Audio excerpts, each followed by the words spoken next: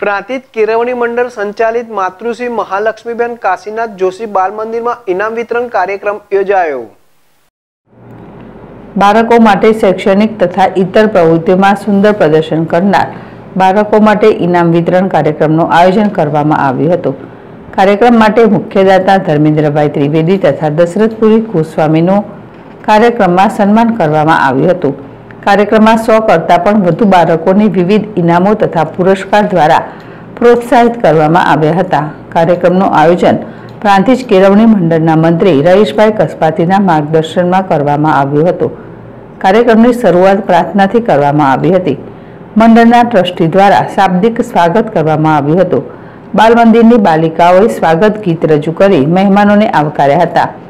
વિદ્યાવિહારના આચાર્ય પરેશભાઈએ સંસ્થાનો પરિચય આપ્યો હતો.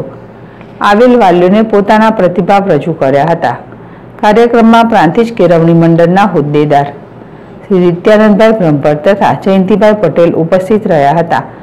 ધોરણ આઠ પ્રાથમિક વિભાગમાંથી માધ્યમિક વિભાગમાં જઈ રહેલા વિદ્યાર્થીઓએ શાળાના આચાર્ય તથા શિક્ષક ગણના આશીર્વાદ લીધા હતા. પ્રાંતિજ કેળવણી મંડળ સંચાલિત વિવિધ સંસ્થાઓના વડાઓ કાર્યક્રમમાં ઉપસ્થિત રહ્યા હતા. એમ કે જોશી બાલમંદિરના શિક્ષિકા બહેનો રેખાબેન સોલંકી, નીપાબેન રાવલ, અનિશાબેન કિચન તથા અન્ય સંસ્થાઓના વડાઓ અને શિક્ષકોના હસ્તે બાળકોને ઇનામ આપવામાં આવ્યા હતા.